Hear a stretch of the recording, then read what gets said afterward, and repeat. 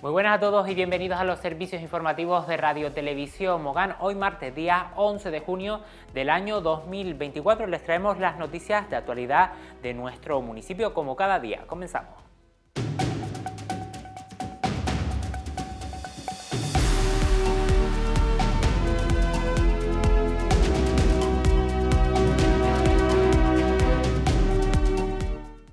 El Centro Cultural El Mocán acogió en la tarde de ayer dos representaciones teatrales con motivo de la fiesta de San Antonio el Chico.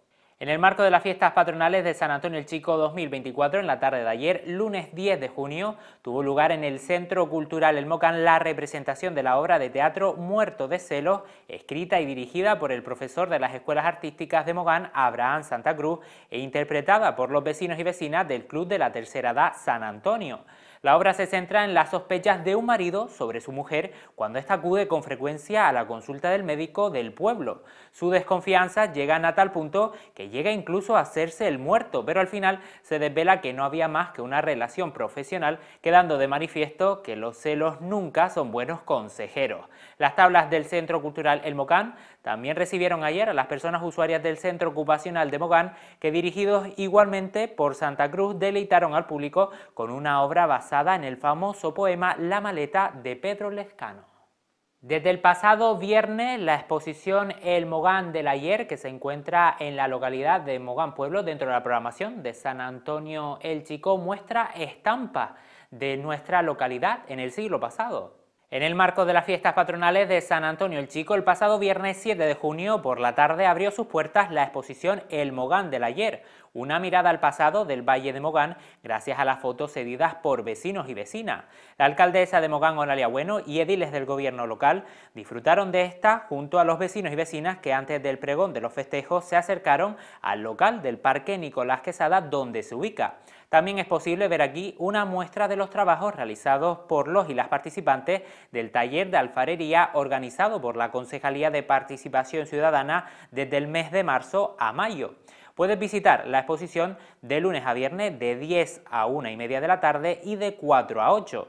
Eh, la exposición concretamente está localizada en el local situado en la parte baja del Parque Nicolás Quesada. El proyecto socioeducativo Aplícate cierra su octava edición con una jornada lúdica. Alumnado y familias del proyecto socioeducativo Aplícate han celebrado recientemente el fin del presente curso, el octavo que se desarrolla en Mogán, con una tarde de actividades lúdicas en el Parque Sur del municipio vecino de San Bartolomé de Tirajana. El Ayuntamiento de Mogán, la Fundación Canaria Universo Unido y el Búho Inquieto, Centro de Enseñanza y Gabinete Multidisciplinar, promueven mediante convenio este proyecto dirigido a alumnado en situación de vulnerabilidad. Desde que echara a andar en el municipio en el año 2016, Aplícate ha tenido siempre como objetivo acompañar a los menores en su vida académica y evitar su exclusión social, complementando clases de refuerzo educativo con actividades de ocio en las que además se inculcan valores como el respeto, la tolerancia y la solidaridad. Recientemente culminábamos con la octava edición del proyecto Aplícate en el Parque Sur, en Maspalomas.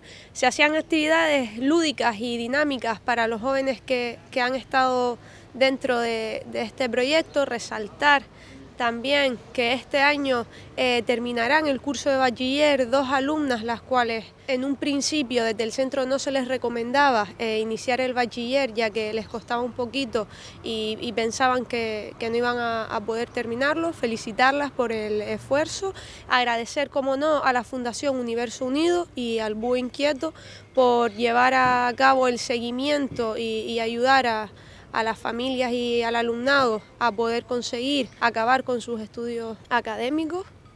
Desde la Concejalía de Educación hemos apostado durante ocho años por este proyecto y seguiremos apostando, ya que no solo es un proyecto que, ayuda al alumnado a nivel académico, sino que también contribuye a que puedan tener eh, diferentes momentos de ocio, eh, ayudar a, esas familias que necesitan para que sus hijos puedan continuar con, los estudios. Y tiene bastantes momentos de convivencia como los momentos del cierre de las actividades en los que comparten algo más que no sea el, día a día de, de la parte académica.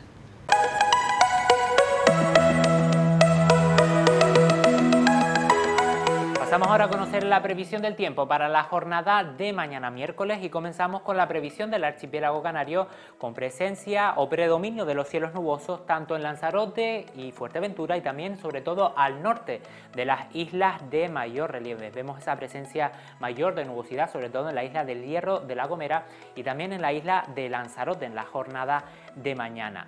Esa nubosidad será más intensa la primera mitad del día. Hay alguna probabilidad de lluvias débiles y dispersas, sobre todo en la madrugada. También tendremos algunos intervalos de nubes altas y en el resto de zonas, como pueden ver, algunos cielos despejados, sobre todo quizás al sur de la isla de Tenerife y también de Gran Canaria. Como digo, esa evolución de las, nubes, de, de las nubes tenderán a despejarse con la llegada del mediodía. En cuanto a las temperaturas, las mismas que en la jornada de hoy prácticamente, no habrá grandes cambios.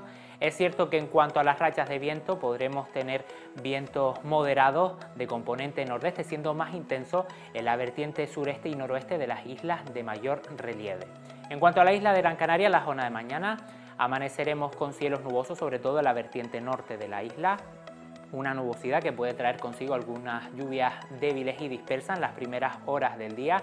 Sin embargo, a partir del mediodía tendremos cielos prácticamente despejados, sobre todo en la vertiente sur, y alguna presencia de nubes altas. Temperaturas igual que en la jornada de hoy, y el viento también será de componente nordeste en la jornada de mañana, siendo más intenso en esta ocasión en la vertiente sureste y oeste de la isla. Y pasando al municipio de Mogán, en el día de mañana miércoles tendremos algunas nubes y claros en el día de mañana, pero tenderá a despejarse los cielos con la llegada del mediodía. Las temperaturas oscilarán entre los 26 grados de máxima y los 17 de mínima.